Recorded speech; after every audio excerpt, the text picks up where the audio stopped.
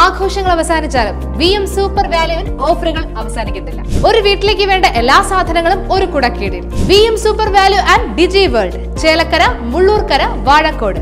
ഉൾപ്പെടെയുള്ള മന്ത്രിമാര് U D എഫിന്റെ പത്തൊമ്പതോളം എം പിമാര് എൽ ഡി എഫിന്റെ മൂന്നോളം രാജ്യസഭാ എം പിമാര് ബി ജെ പിയുടെ സുരേഷ് ഗോപിയോടൊക്കെയുള്ള കേന്ദ്രമന്ത്രിമാർ അവരുടെ അതർ സ്റ്റേറ്റ് ലീഡേഴ്സ് ഇവരൊക്കെ പതിനെട്ട് ദിവസമായി റൂമെടുത്ത് ഇവിടെ തങ്ങി കോടികൾ ഇവിടെ പൊടിക്കുകയാണ് ഈ കണക്കുകൾ വെച്ചിട്ടാണ്. ചുമരെഴുത്ത് മാത്രമുണ്ട് മുപ്പത്തഞ്ച് ലക്ഷം രൂപ.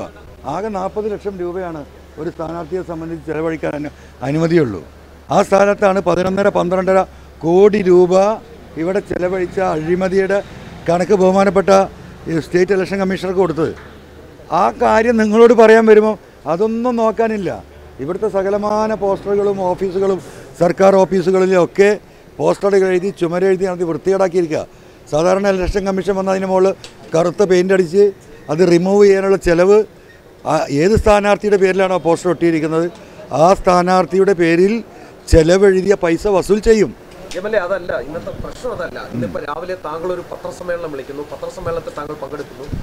അത് ഈ തെരഞ്ഞെടുപ്പ് ചട്ടലംഘന ചട്ടത്തിന്റെ ലംഘനമാണെന്നാണ് അവർ ചൂണ്ടിക്കാണിക്കുന്നത്. പരസ്യമായി ഇവിടെ പത്രസമ്മേളനം വിളിക്കാൻ പാടില്ല. അതോടൊപ്പം തന്നെ ഇന്നത്തെ ദിവസം പുറത്തുനിന്നുള്ള ആളുകൾ വരാൻ പാടില്ല. അതൊക്കെയാണ് ചട്ടമായി പറയുന്നത് അവർ. ആ ചട്ടത്തിന് വല്ല കടലാസ് നിങ്ങളുടെ കയ്യിലുണ്ടോ? അല്ല അവർ പറയുന്നത് പോട്ടെ. കടലാസ്. ഉണ്ടോ ഏത് കടലാസാണ് കാണിക്കുന്നത്? അല്ല അതൊന്ന് അതൊന്ന് എക്സ്പ്ലെയിൻ ചെയ്ത് നിങ്ങൾ ചട്ടം ചട്ടം ചട്ടം ചട്ടം ചട്ടം എന്നിങ്ങനെ ശബ്ദം കൂട്ടി പറഞ്ഞോ ചട്ടാവോ. ആവോ. ആ ചട്ടം പറയുന്നിടത്ത് അതിന്റെ ഡീറ്റെയിൽസും പറയുന്നുണ്ട്. അതിന്റെ ഡീറ്റെയിൽസ് ഉണ്ട് അതിന്റെ ഡിസ്ക്രിപ്ഷൻ ഉണ്ട്. അതിൽ പറയുന്നുണ്ട്. അങ്ങനെ പറയുന്നതാണെങ്കിൽ അങ്ങനെ നോട്ടീസ് വരട്ടെന്ന്. അങ്ങനെ തെരഞ്ഞെടുപ്പ് കമ്മീഷന്റെ പറയുന്നതാണ് ശരിയെങ്കിൽ അതിന് അപ്പീലുണ്ടല്ലോ സെൻട്രൽ ഇലക്ഷൻ കമ്മീഷന്. അതിന്റെ മുകളിൽ സുപ്രീം കോടതി ഉണ്ടല്ലോ. നമുക്ക് ചട്ടമൊന്നൊന്ന് വിശദീകരിക്കപ്പെട്ടോട്ടെ. ഈ പറയുന്ന കീഴ്വഴക്കം എന്ത് കീഴ്വഴക്കം? കീഴ്വഴക്കമൊക്കെ വീട്ടിൽ കുടുംബത്തിൽ നിയമത്തിൽ എന്ത് കീഴ്വഴക്കം? നിയമത്തിൽ നിയമമാണ്. അങ്ങനെയാണ് ഇവിടുത്തെ കീഴ്വഴക്കം. എന്ന് വന്നിട്ടൊരു ഓഫീസർ പറയുക അതെന്ത് നിയമ? കീഴ്വഴക്കം എന്ന് പറയുന്ന ഒരു ഒരു ഒരു നിയമം നാട്ടിലുണ്ടോ? അപ്പോൾ അത്രേ ഉള്ളൂ അതിൽ ആണോ എം എൽ എ ഇപ്പോൾ ഞാൻ മടങ്ങണോ മടങ്ങണ്ടേ തീരുമാനിച്ചിട്ടില്ല. നിങ്ങൾക്കൊക്കെ നിർബന്ധമാണെങ്കിൽ മടങ്ങാം. നാളെ എന്തായാലും വോട്ട് ചെയ്യാൻ പോകണ്ടേ വയനാട്ടിൽ ടെലിവിഷനിലൂടെ നിയമപ്രകാരം പറയാൻ പാടില്ല എന്നാണ്. അത് നിയമലംഘനമാണെന്നാണ് പറയുന്നത്. ആര് പറഞ്ഞുന്ന്?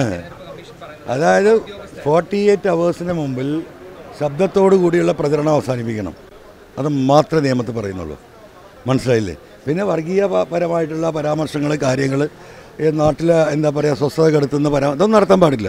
അത് വളരെ കർശനമാണ്. അല്ലാതെ നാട്ടിലെ പൊതുവായ ഒരു തെരഞ്ഞെടുപ്പ് യോഗ തെരഞ്ഞെടുപ്പ് ഘട്ടത്തിൽ മൂന്ന് മുന്നണി സ്ഥാനാർത്ഥികൾ നടത്തിയ അഴിമതിയെക്കുറിച്ച് ഒരു എം എൽ എ എന്ന നിലയ്ക്ക് ഞാൻ നൽകിയ ഒരു പരാതി.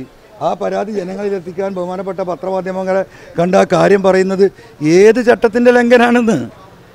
ഈ ചട്ടലംഘനം ചട്ടലംഘനം എന്ന് പറഞ്ഞാൽ മതിയോ? നമുക്ക് നോക്കാന്നേ.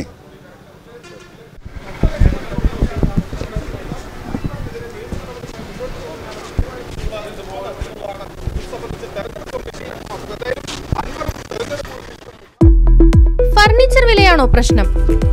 പകുതി വിലയ്ക്ക് ഫർണിച്ചറുകൾ സ്വന്തമാക്കാൻ ഒരു അവസരം അതും ഇ എം ഐ സൗകര്യത്തോടു കൂടി ദുബായ് ഫർണിച്ചർ ബസ് സ്റ്റാൻഡിന് സമീപം ഓട്ടുപാറ വടക്കാഞ്ചേരി.